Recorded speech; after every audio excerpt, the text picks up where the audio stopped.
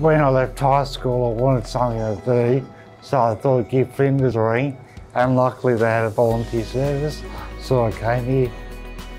If I want people where they've got to go, have a talk to them on the way, and when the people leave, they're like, oh, thanks for your help. I'm like, yeah, they're grateful for your help, and I'm just grateful I can help them.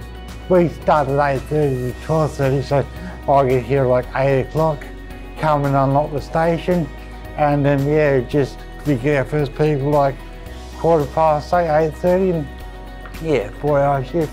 You put something back into the community, and you meet lots of people, gives you a purpose in life.